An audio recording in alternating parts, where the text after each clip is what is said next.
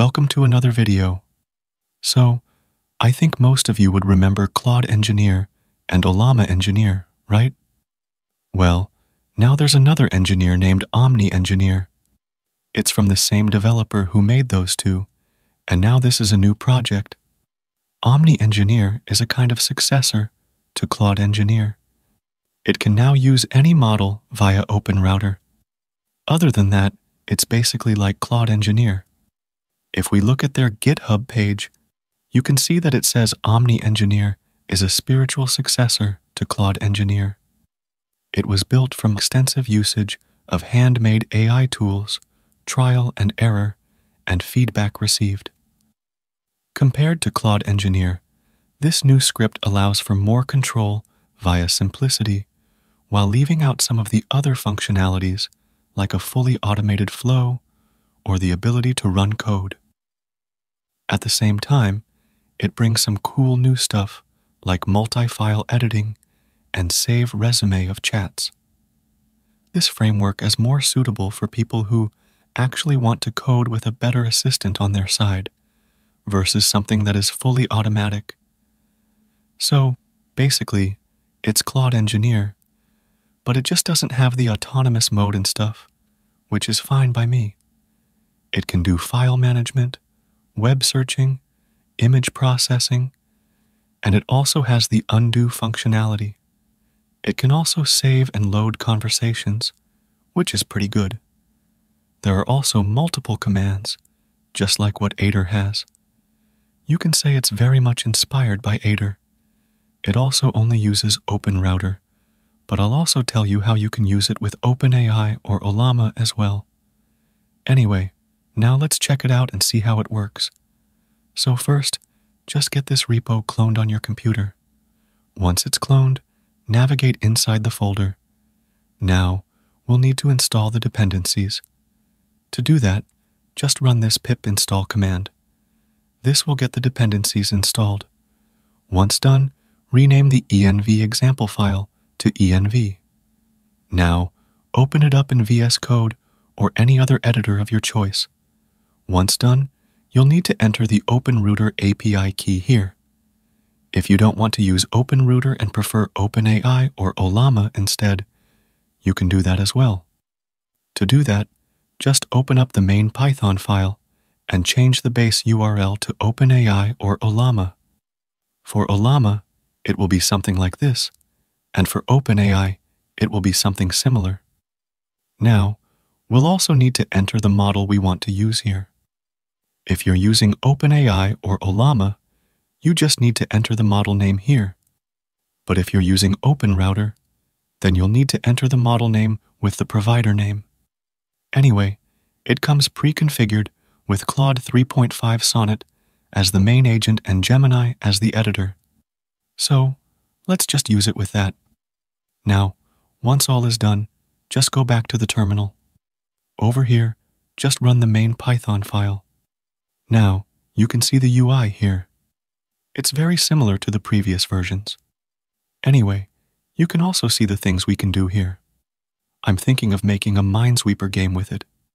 So, let's do that. Let's ask it to create a new file here. So, now it's asking if we want to edit it. Let's say yes here. So, it's asking what we want to do with it.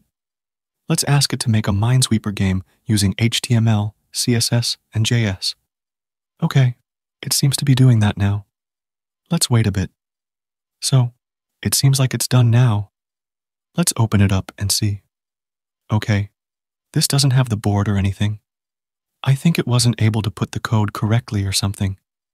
Like here in the code, it wants the script JS, but it isn't made. So, I guess in the prompt, we'll have to ask it to put all the code in one file, as it cannot make or edit other files. Now here, let's use the edit option. Let's ask it to do the same thing. But this time, let's ask it to put everything in the same file. Okay, it's doing that. Let's wait a bit. So, it's now done. Let's look at it. Okay, this looks pretty good now, and it's also working fine as well. So, it can do it but you'll need to make sure it doesn't generate code for other files and keeps everything in the same file. Maybe changing the system prompt a little bit can fix that. Anyway, now let's also try out the other commands it has. So, the add, edit, and new we have already tried. Let's try the search. Let's go over here and use it. I'm asking it about how we can install Llama 3.1 with it. So, it seems to be searching now. Also, you don't need any API key for search, which is pretty cool. I think it uses DuckDuckGo for that since it's free. Anyway, it's now done. It doesn't give the results directly. It just adds the result to its context. So, now we'll need to ask it about it now. Let's ask it here. Okay, it answers it well. So, the search also works fine. The next one is image. So, let's give it this image. This is a screenshot of ChatGPT. Now, we'll need to add the image to the context first.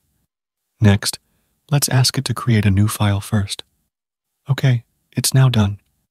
Let's ask it to edit it, and now let's ask it to create a UI with the screenshot I gave it. It's doing that now. So, let's wait a bit. Okay, it's now done. Let's look at it now. So, this looks pretty good. I have no complaints with it because it looks very similar with a different take on it.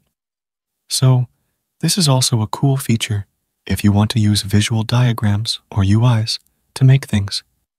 It's pretty cool.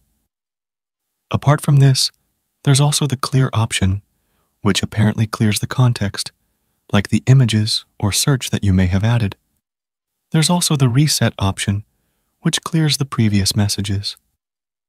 Then there's the diff option, which turns off the diff display that you see.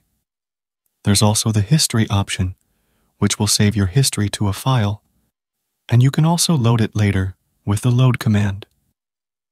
There's also the undo command, which will undo the last changes in the file, which is also very cool. Now, overall, I think this is a pretty handy tool.